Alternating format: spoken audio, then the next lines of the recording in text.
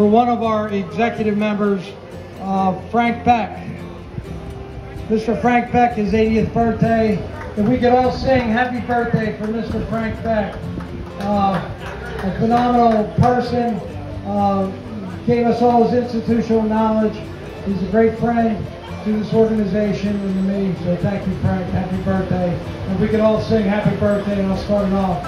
Happy birthday to you.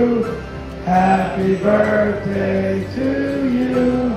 Happy birthday, dear Frank.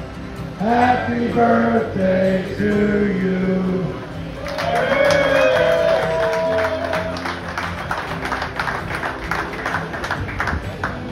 A uh, Lifetime Achievement Award for our longest living member, Mr. Frank Beck, at 80 years old.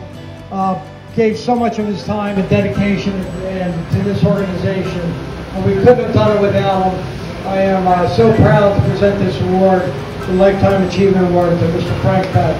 Thank you.